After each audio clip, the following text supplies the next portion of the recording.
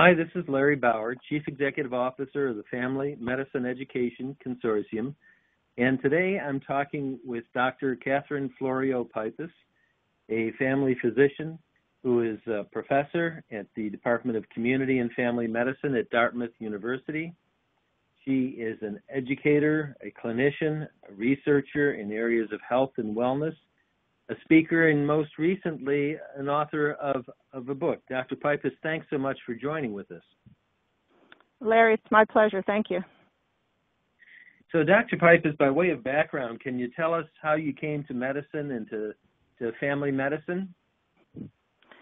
Well, I um, came to medicine by way of um, interest in, in, in looking at both the sciences and um, my passion for people. I think I wound up in family medicine because it continued to open doors. I was a medical student at Jefferson Medical College and had a phenomenal opportunity to work with two family docs, husband and wife. And at that point, I fell in love and I was advised as someone who loved every area that I worked in as a student that family medicine would be right for me, and I have um, felt that was that was valid throughout my whole career.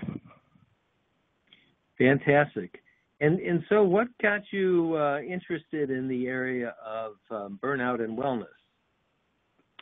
Well, unfortunately, my own experiences. Um, I've been um, wearing multiple different hats and roles at Dartmouth, and found myself um, in quite a few leadership positions, as well as going back and um, acting as a student. In 2011, I went back to Dartmouth and got an MPH at the Dartmouth Institute, and um, recall sitting at graduation, um, looking around in the eyes of my classmates and hearing the speaker say, you know, go out there and cure cancer and save the world and um, heal everyone, and thinking about um, my own life and, and those that I was looking at and seeing and realizing they're not eating well and taking care of ourselves and you know not seeing our families or or doing the things that we were preaching really.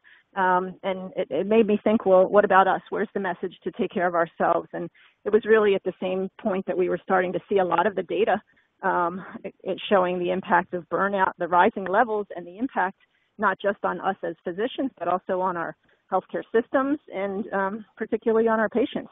And so um, it's really an area that's extremely rewarding because it forces me to walk the walk, but it's also rewarding because I see the need by so many of my students and colleagues um, to be able to prioritize their own health and look at ways of changing our culture and our system to support us um, taking care of ourselves. So I had an opportunity, and thank you for sharing your book uh, early on with me. I had an opportunity to read it, and the thing that really struck me is your vision of providing patient care as as as a healing. Each of the cases that you uh, discussed, each of the patients, each of the scenarios, you talk about how a family physician responds to that patient, that family, that problem and and I just uh, honestly I heard Hippocrates uh, in in uh, the background. Uh, really powerful vision as a healer. Could you comment on that? Yeah, and I mean it, it gives me shivers in some ways um, because, to be honest, the stories that I've written for years, Larry, as a physician around patients and the learnings I've had for them, hit me as a teaching not just for the for myself but for other colleagues. And so we're all patients in, in essence. And so the stories that I wrote are ways that we can learn from our patients um, and turn around and pass that back on to both other patients and colleagues. And so I've had, you know, journals since I was a medical student collecting little tidbits of what I've learned. Many of them initially may have been around lab values or very concrete facts. Um, and, and more recently, I realized that these are themes and these are strategies of, of how people adapt to challenges and how they, you know, can continue to do difficult things, both in physical health and in mental health, emotional health, um, despite the challenges that are around them.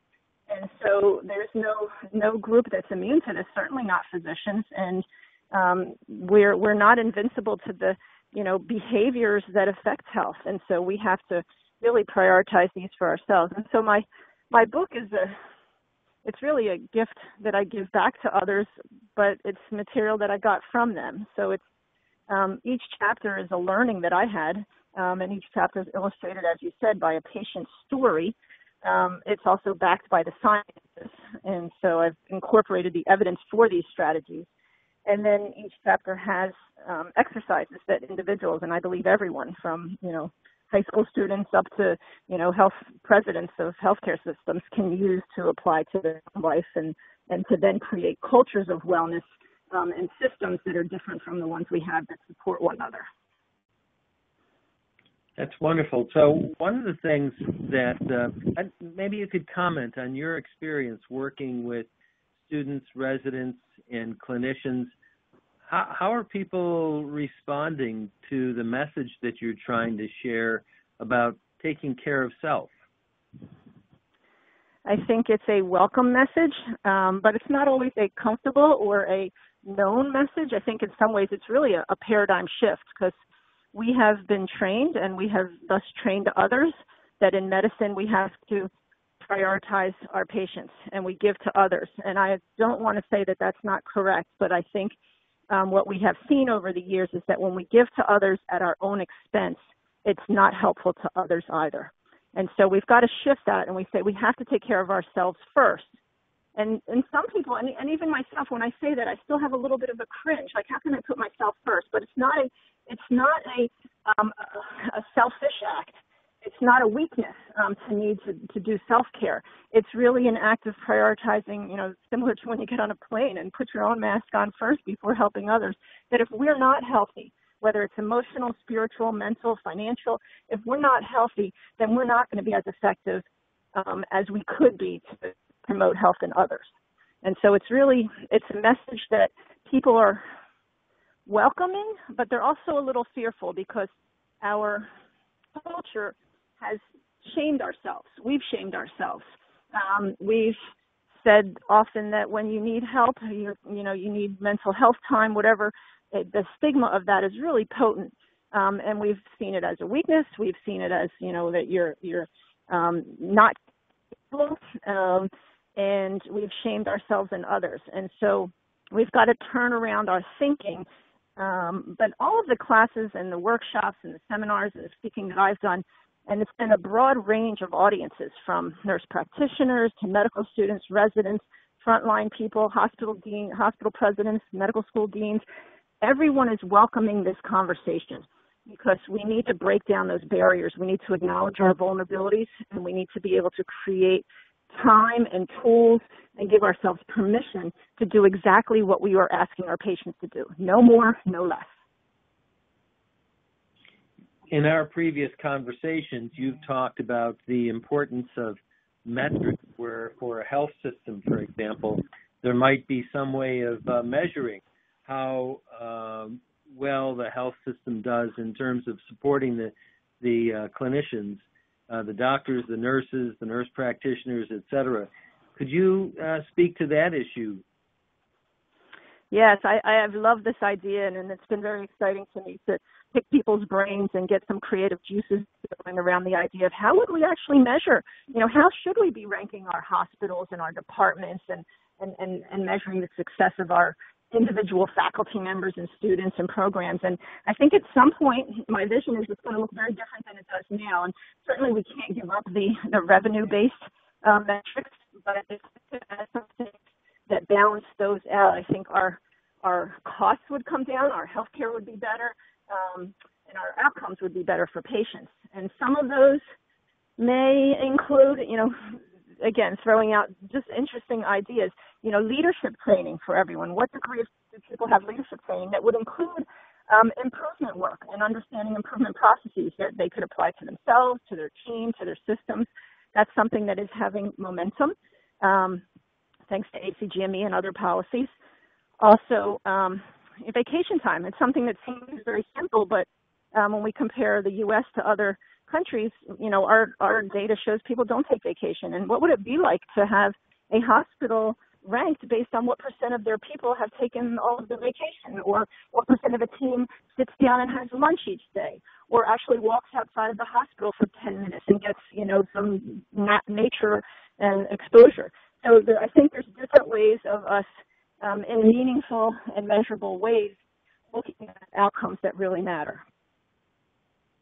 So I tell people this story that when I started in medicine, uh, admittedly some years ago, there was a thing called lunch, and people would get together. We we would even go out to lunch occasionally together, little team formation, uh, and that gradually. In fact, I trained for a marathon during quote lunch, mm. where a group of us would go out for a run together. And then in the uh, 80s and the 90s, that disappeared, and you filled it in with meeting, meeting, meetings. And mm-hmm. I don't think people really quite understand that for most docs, they're going, even if they're not surgeons, they're going from 7 a.m. in the morning well into the evening with grabbing food as they can, trying to keep up, keep up, and and uh, uh, produce more. Comment? No, I, I think you're absolutely right. I think we underestimate the power to replenish, whether it's whether it's time or whether it's just a few moments of reflection. I um, was doing a workshop with a group of um, residents in our leadership preventive medicine residency, and we did John Kabat-Zinn mindfulness exercise, which is a one-minute raisin exercise, and we focus our attention to to demonstrate mindfulness under simple little, you know, shriveled up grapes and at the end of this exercise, one of the residents expressed how this was the first thing that he had tasted all month. And it was just such a potent um, validation of what you're saying that he hadn't taken the time in the last 30 days to sit down, to appreciate his food, to take a moment for himself. And, you know, we, we know that the studies of, you know, the families that eat together, sit together, because much more happens than just the digestive enzymes coming out, that you're, you're thinking, you're stopping what you're doing, and, you know, the same with the power of a 10 minute walk to just step away from work.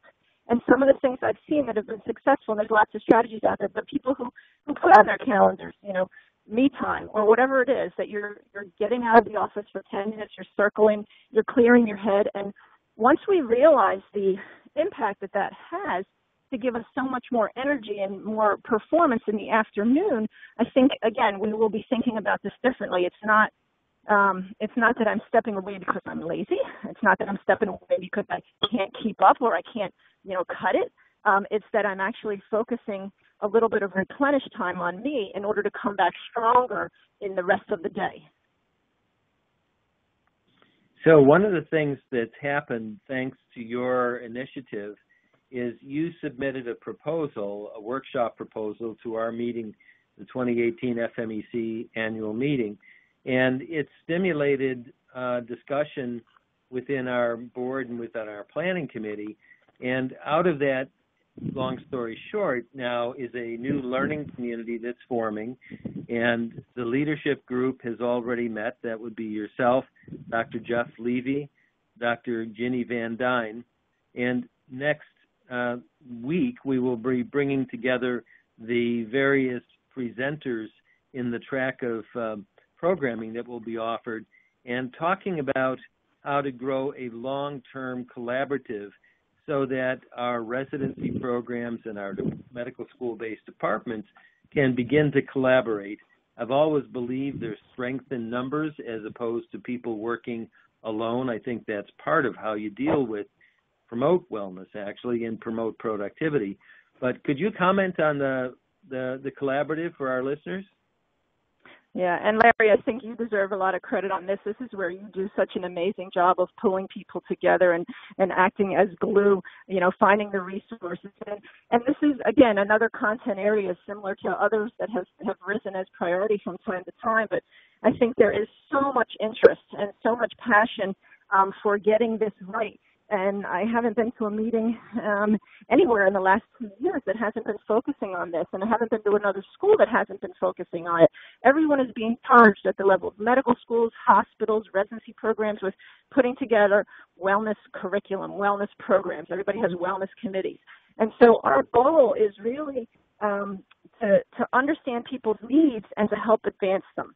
So we want to very clearly make sure everyone's educated, but I think that is going to be less of an issue. But to make sure people do understand um, what the, the issues are and the impact of burnout, particularly at the level of the individuals, the teams, and the organizations. And we want to make sure people understand and are continuing to um, explore what the factors are that contribute to burnout and there's lots of models, including the National Academy of Medicine framework, different ways. Um, but then we want to do something different, I think, and help um, from a national standpoint and maybe a standardized um, standpoint of defining what this competency of wellness among health professionals should look like. Um, we we don't have a standard competency defined, um, and and in doing so, I think we'll start to see what are some of those other metrics um, that can be used to measure wellness. And we're looking at, you know, not just the level of the the hospital or the institution, but also down to the you know the individual, the the faculty, resident, student level. Um, and we'd love to continue to um, support people in, in doing innovative um, solutions, but also making sure that we're starting to package, um, taking what's out there on some other websites, National Academy of Medicine, and best practices, and making sure that they're being disseminated so that we can promote research and allow um, organizations to work together collaboratively across institutions and get better better results and know what's really going to make a difference over time. So I think you know we're we're all about education, we're all about collaboration, and we're certainly all about promoting um, exchange of ideas and resources. And if I can add one um, more piece to that, I think we're all about system change. Uh, I don't think we will get to uh, reduction in burnout, increase in wellness. We've created very broken healthcare delivery systems, and we need to change the systems moving away from a production oriented model towards a healing oriented model. And again, going back to your wonderful book, I would recommend anybody who's listening to uh, get a copy of the book. If you want to, for those who don't really get what, how a family physician engages with patients to produce healing, Dr. Florio Pipas, I think your book is just dead on uh, in terms of the healing art that underlies the field of family medicine. Thank you, Larry. I um I, I am very pleased that again the, the book A Doctor's Dozen 12 Strategies for Personal Health and a Culture of Wellness addresses exactly what you're saying. It's not that the individuals don't know how to care for themselves, but when we're within an environment that's not supportive and occasionally even toxic, it's difficult to apply things that we theoretically know how to do. And so um, my my goal is that we focus on prioritizing the health, and I think this collaborative and the book address that. But it's also about people who wanting to support care and systems um, that are um, undermining uh, health processes, and also for those who are, are determined to design and implement actual curriculums around wellness. So all of those, um, anyone who has any of those interests, prioritizing their own health supporting cultures and system change and, and wanting to create, you know, teaching tools and curriculum we, we are hoping will be part of our collaborative. Fantastic. Dr. Pipas, I want to thank you so much for the book that you've written and the work that you do, and thank you for talking with us today. My pleasure, Larry. Thank you for all of your efforts.